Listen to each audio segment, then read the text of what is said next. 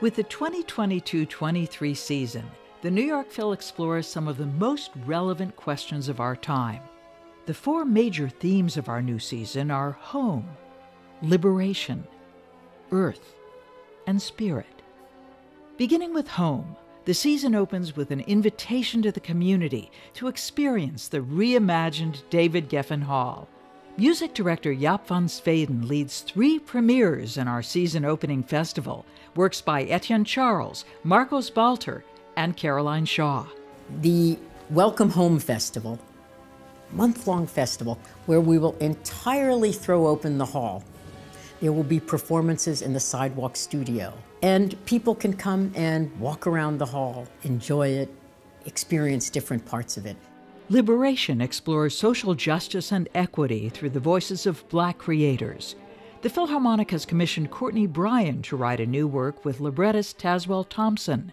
The program, which also includes music by William Grant Still and Adolphus Hailstork, will be conducted by Leslie B. Dunner and directed by Tazewell Thompson. The use of video and projections will act as not only the scenic background, but it will set the atmosphere. Spirit is an exploration of humanity's place in the cosmos and the resilience of the human spirit. Music director Jaap van Zweden will conduct Messiaen's Turangalîla Symphony and Bach's St. Matthew Passion in the work's first New York Phil performance in 15 years. It has been a huge wish to finally play this incredible piece in New York.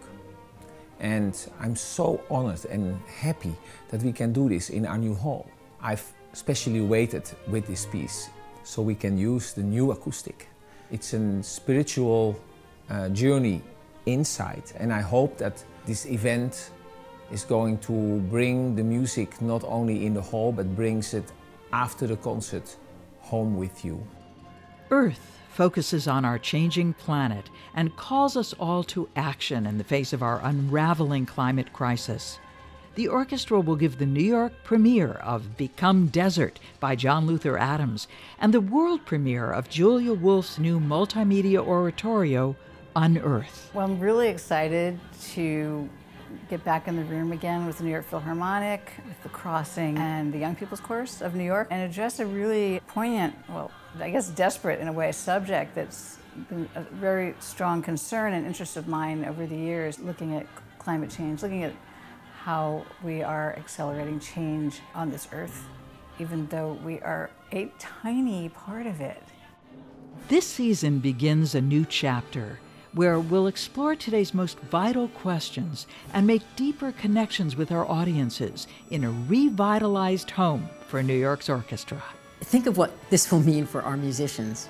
It is a life changing moment for them, but also a life changing moment for the musical life of New York. It's a journey that's been harrowing at times along the way, but it makes reaching the destination that much more joyful.